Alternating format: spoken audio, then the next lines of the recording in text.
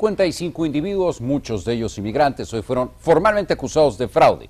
La banda de criminales robaba identidades para obtener reembolsos del IRS y para abrir cuentas bancarias. Vamos con Yaosca Machado y está en vivo desde la sala de redacción y tiene los detalles. Yaosca.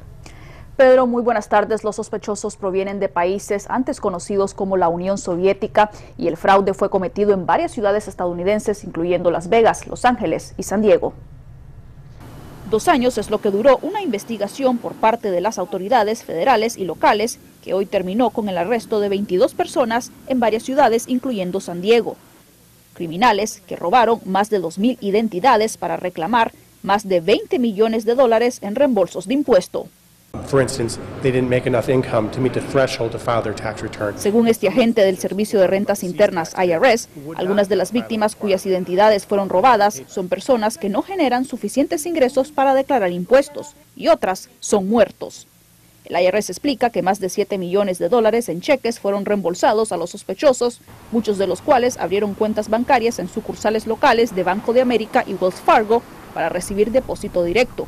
En otros casos, los cheques de reembolso fueron enviados por correo a apartamentos ubicados en la avenida University y el Boulevard El Cajón. Laura Duffy, fiscal federal en San Diego, añade que varios de estos criminales vinieron a Estados Unidos con visas estudiantiles, de trabajo o turistas. Y por ende, 33 de los 55 acusados aún no son capturados, asumiendo que huyeron a su país de origen. Y ya que hablamos del robo de identidad, tanto las autoridades como las entidades bancarias nos aconsejan lo siguiente para evitar ser una víctima más. Hay gente que está tratando de hacer fraude y les llama a personas y les, solicita su seguro social completo, su fecha de nacimiento, dirección y se hacen pasar como representantes de su banco. Es muy importante que ustedes sepan que ningún banco va a hacer, va a hacer eso, simplemente podemos utilizar eh, recursos como preguntarles los últimos cuatro números de su seguro social, pero nunca el seguro social completo. Eh, entonces.